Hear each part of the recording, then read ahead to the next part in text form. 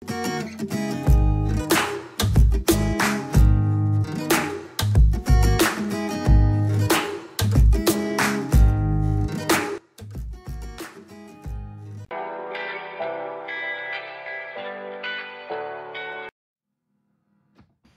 senang melihat G-Dragon lagi di iklan sampo. Sudah lama sejak VIP tidak melihat foto apalagi video wajah penuh G-Dragon. Namun, penantiannya berakhir dengan kemunculan barunya di iklan TS Sampo. Dengan rambut panjang dan halus, G-Dragon menunjukkan visual masa mudanya yang tak lekang oleh waktu. Fitur singkat memungkinkan penggemar untuk mendengar suara G-Dragon untuk pertama kalinya dalam beberapa saat. Meskipun iklan itu sendiri hanya beberapa detik, G-Dragon menjadi trending di Twitter karena antusiasme penggemar. Selain itu, suntingan penggemar menghidupkan tangkapan layar berkualitas rendah.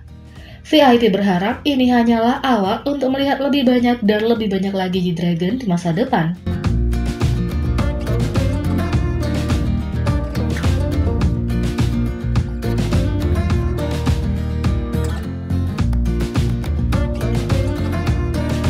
Yang kedua, netizen sangat senang melihat Tiffany berakting sebagai anggota keluarga Cebol bersama Song Joong Ki. Telah dilaporkan bahwa Tiffany Girls Generation telah berperan dalam drama JTBC mendatang The Youngest Son of the Cebol Family. Adalah adaptasi dari webtoon populer dengan nama yang sama. Ceritanya mengikuti kehidupan seorang pria bernama Hyun Hyun Woo yang dijebak karena penggelapan dan akhirnya dibunuh setelah mendedikasi lebih dari 10 tahun hidupnya untuk keluarga cebol. Hyun Hyun Woo kemudian kembali sebagai putra bungsu keluarga cebol Jin Do Jun dan merencanakan balas dendam terhadap keluarga tersebut. Tiffany dikabarkan telah ditawari peran sebagai karakter Korea Selatan kelahiran asing, sementara Song Joong Ki juga ditawari peran utama pria dalam drama tersebut. Banyak yang mengantisipasi chemistry kedua selebriti ini jika Tiffany dan Song Joong Ki memutuskan untuk mengambil peran itu. Netizen berkomentar, saya melihat Tiffany berakting selama satu episode SNL dan dia memainkan perannya dengan sangat baik. Saya senang melihatnya di drama baru ini.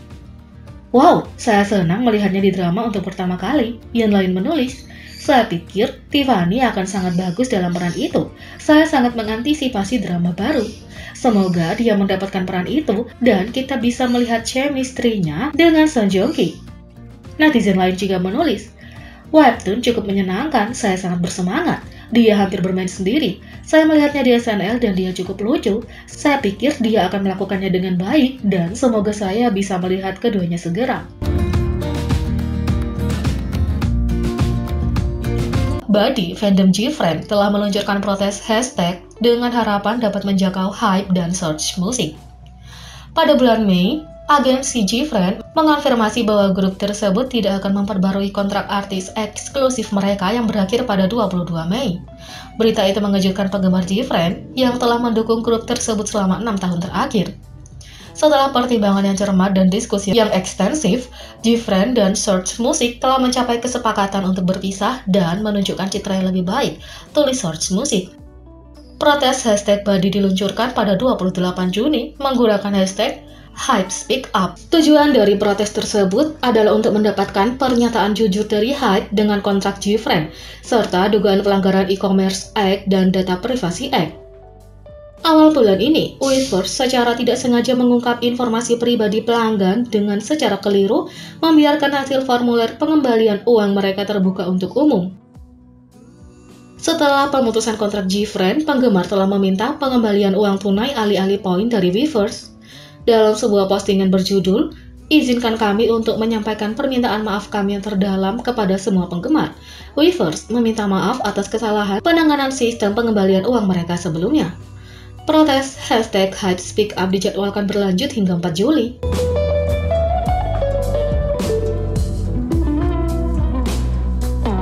Yang ketiga, BTS tidak bisa berhenti mengagumi visual Jin selama run BTS dan popularitas Jin di Jepang semakin meningkat. Jin BTS dicintai oleh penggemar di seluruh dunia karena banyak hal, baik itu bakat, karisma, pesona, dan tentu saja visualnya yang mempesona. ARMY tidak pernah bosan dengan anggota tertua grup ini. Namun, sepertinya anggota BTS tidak dapat menyembunyikan kekaguman mereka pada ketampanan Jin. Selama run BTS terbaru, para anggota melakukan perjalanan menyusuri jalan kenangan dengan tema Run BTS Gayo.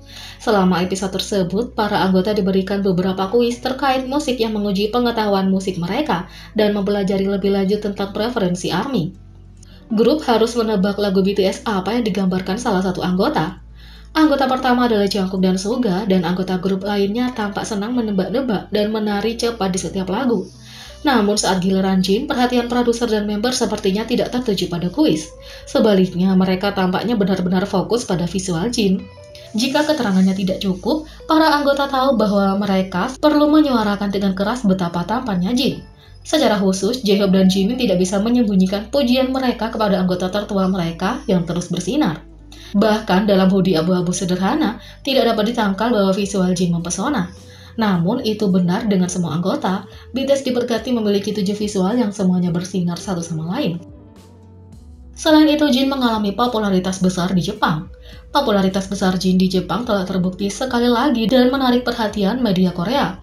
Baru-baru ini, wawancara eksklusif dengan majalah Rolling Stone menjadi artikel yang paling dilihat di situs Rolling Stone Japan. Sebelumnya, Jin juga membuktikan dirinya sebagai artis musik populer dengan lagu solo Nyamun, meraih sukses besar di tangga lagu Jepang. Ini menjadi lagu solo BTS dengan charting tertinggi dari album Map of the Soul 7 di chart real-time dari platform musik terbesar di Jepang, Line.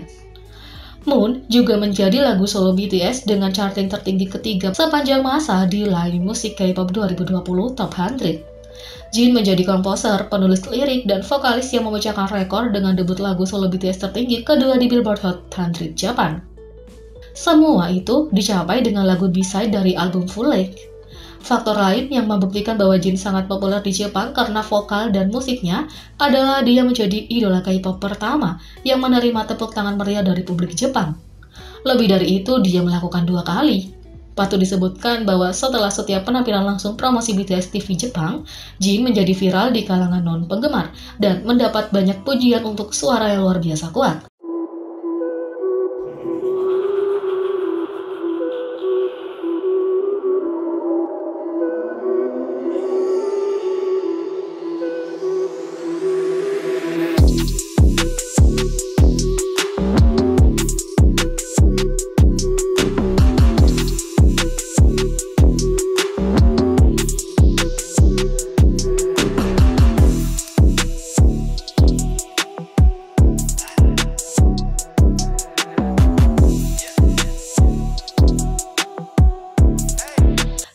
Bagaimana menurut kalian tentang ini? Beri komentar di bawah. Klik subscribe, like, share, dan klik lonceng. Mari kita sama-sama jadikan channel ini berguna bagi K-popers Indonesia. Sekian video kali ini, sampai jumpa lagi.